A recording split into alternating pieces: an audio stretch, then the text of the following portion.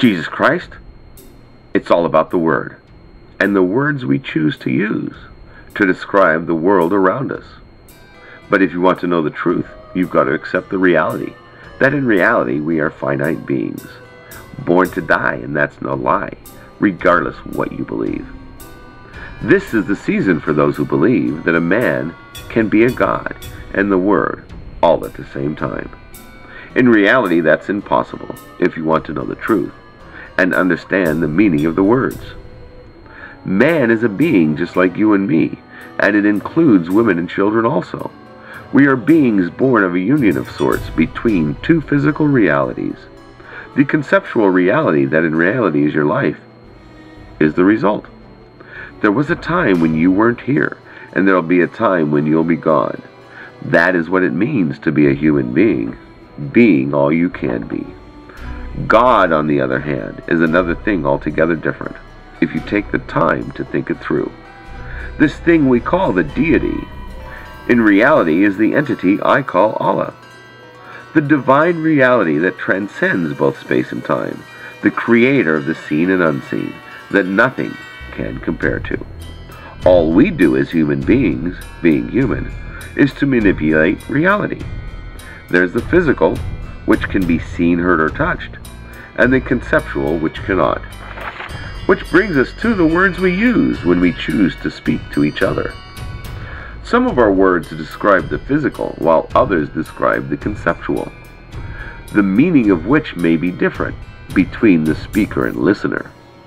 The sounds in reality are the same from the source to the receiver, but what each perceives may be different, while the truth is, it's actually the same. There's a reason for all this to be happening, and it has to do with time and space. The place in space and time where you've existed has exerted an influence over you. The way you think and what you believe is the result of where you've been all this time. This is the way it's always been at the beginning of human life. Equality is a reality that many don't recognize unless they reflect on what it all means to be a human being.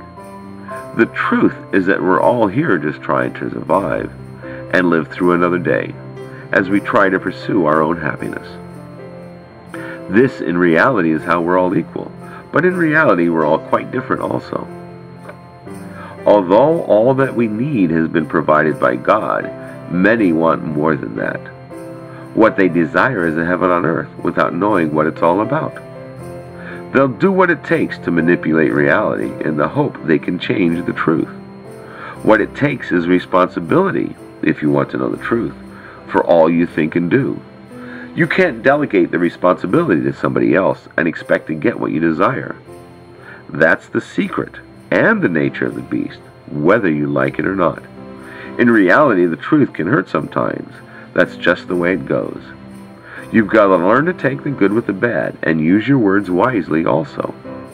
Understand what you say may not be what other people hear, as the sounds pass through their ears and enters the confines of their minds. What they perceive is based on their place in time and space also, which in reality hasn't been the same as yours. But the truth is that we're all human beings with all the same basic needs, regardless what you believe.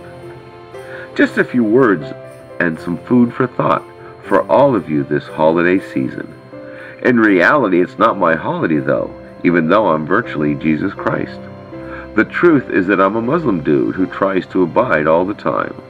I've been labeled Mr. Jesus 2.3 by the International Fellowship of Christians and Jews, and that's no lie at all. That silly rabbi tried playing tricks on me in the hope of getting some change. He got nothing on me, I'll let you know, and that's the honest to God truth. In reality, I've got nothing else to say on the subject, so I'll close this epistle for now. Peace be with those of you who know what the truth is, and may the rest of you, and your loved ones too, live long and prosper also. Just don't forget to remember this truth, that you can't take anything with you when you're gone. With an everlasting love, now and forever always, virtually yours, Jesus Christ.